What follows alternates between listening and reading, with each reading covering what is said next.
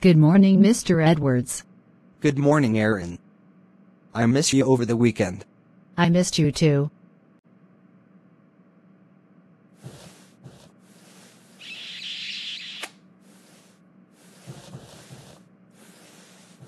I'm glad you got here early.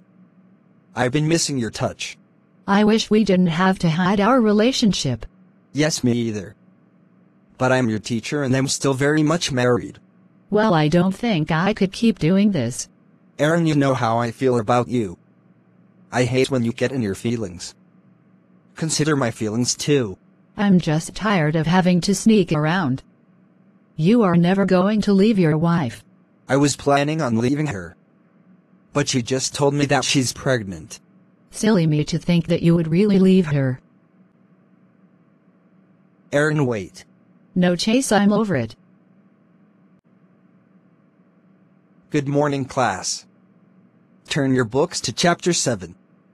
I hope you all studied over the weekend. You have a quiz today. Aw man, I didn't study, did you? No. Girl. If I would have known, I would have. Well, let's look through chapter 6 right quick. Okay. Aaron, hush, no talking. Okay, Mr. Edwards, geez. Aaron, you stay after class today. Why are you giving me attitude? I am just so over us. Don't be like that. I don't want us to be over. Okay, that was our goodbye kiss. Aaron, no. I'm not doing this anymore. Goodbye. But I'm in love with you. No, you're not. I am. Let me take you out tonight. I guess.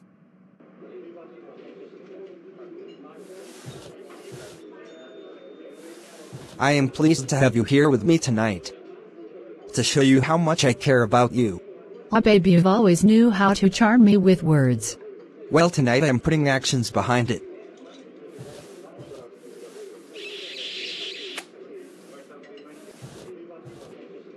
You always had the prettiest eyes. I can stare at you all day. Thank you. You make me feel so beautiful. Baby, you are more than beautiful.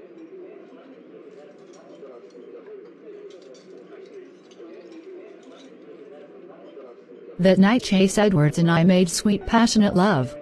Weeks have passed. We was still fooling around. Him nor I was being considerate of his pregnant wife. We was just so wrapped up in our affair. What are you doing after class? Girl nothing but this homework Miss Gibson gave us. Come over and let's work on it together. And plus we need to talk. Okay.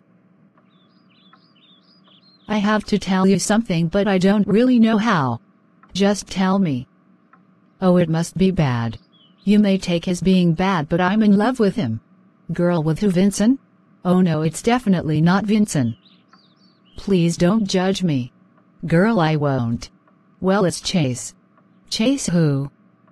I hope not our married teacher. Yes we are in love. Don't you know he's married? Yes but he don't love her. He loves me. I don't know what to say. And a few weeks back he told me she found out she was pregnant. I was so upset and devastated. You need to understand that's his wife. If he didn't love her he would have been left. I just think he likes having his cake and eating it too. And you're just freely letting him make a fool out of you. You don't understand I love him. You're in love by the words he's telling you. I told him I was not doing it anymore. And he actually took me on a real date. Girl, he is trying to do the minimum to keep you around as his side piece. You better wake up and start thinking. Well, he tells me I'm the only one he loves. Well, to be honest, from what I see, he flirts with another student that be laughing and giggling at his lame ass. Are you serious? Yes, he tried to flirt with me. I cut him short though. Please don't fall for his lies. Zara. I am a few days late for my period. Are you for real? Yes, I snuck and bought a pregnancy test, but I'm so scared.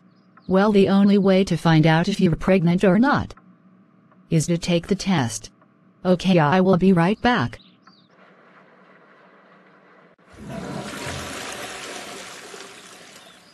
Aaron. Are you pregnant? Are you? The test said